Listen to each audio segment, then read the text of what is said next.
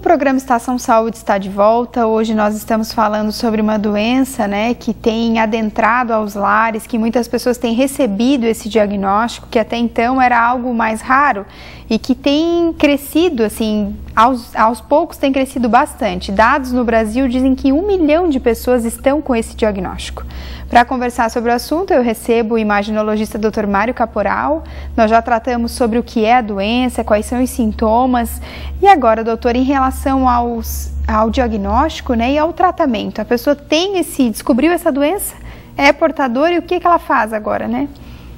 O tratamento para a doença celíaca é único: afastar o glúten. Este é o único tratamento eficaz que existe.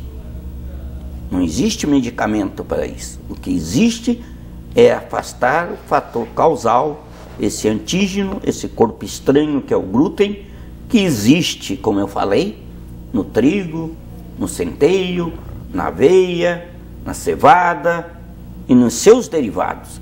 Hoje já existem muitos produtos mercados sem glúten.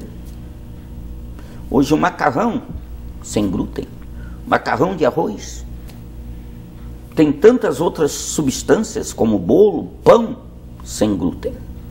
Então as pessoas têm que evitar o glúten. Verduras pode comer normalmente, frutas, sem restrição.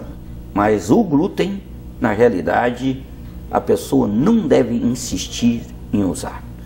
Agora vocês poderiam me perguntar, na realidade, como que é feito o diagnóstico da doença celíaca. Muitas vezes não é muito fácil, porque é aquilo que eu te falei, tem pessoas que são sensíveis e os exames muitas vezes não dão positivos. Mas a rotina é feita na pesquisa dessas desses anticorpos através de exames sorológicos específicos que são esclarecedores em grande parte no caso dos portadores de doença celíaca.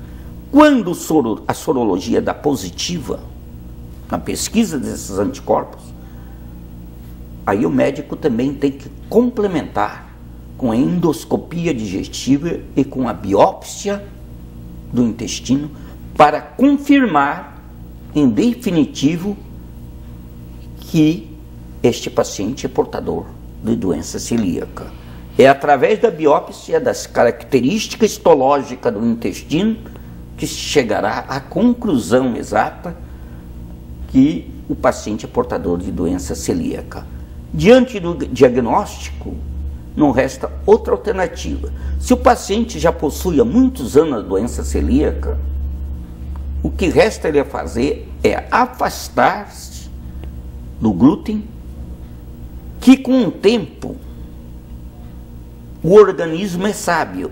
Há uma tendência no passar dos anos, no primeiro ano, no segundo, terceiro ano, da recuperação dessa mucosa intestinal e com isso a pessoa ter uma vida normal.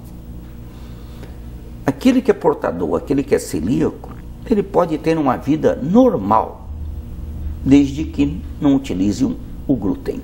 Então ele pode ter uma sua vida normal, sem problema nenhum. Mas com isso ele tem que observar essas regras. Essas regras são importantes, indispensáveis para a sua vida para a continuidade da sua vitalidade, da sua saúde. Porque se é portador de doença celíaca, intolerância ao glúten, ele não deve insistir, porque com certeza complicações virão com o passar do tempo.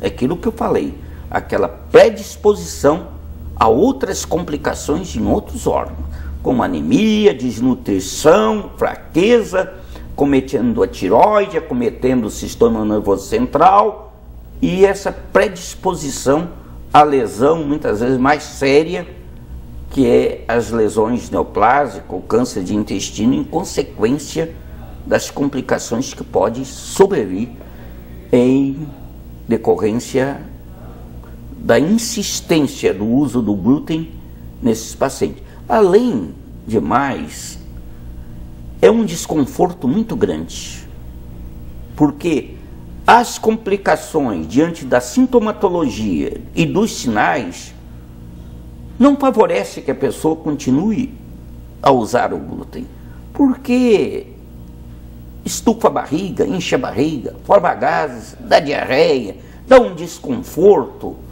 e prejudica muito a pessoa nas suas atividades diárias.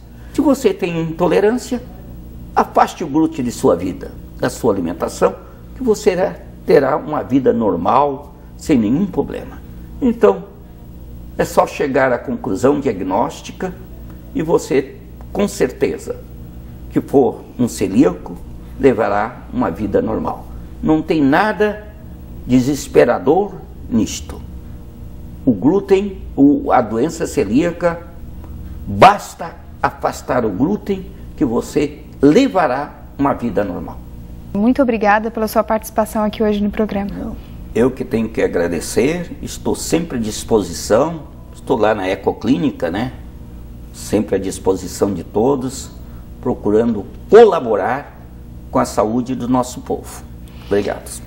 O programa Estação Saúde de hoje termina aqui, mas você pode contribuir né, com temas através do e-mail estaçãosaúde.unisultv.gmail.com Sempre em nome da loja Quer Que Embrulhe Que Me Veste, com um look legal e diferenciado. Se você procura, vá até a loja. Muito obrigada pela sua audiência, pela sua companhia e até o próximo programa.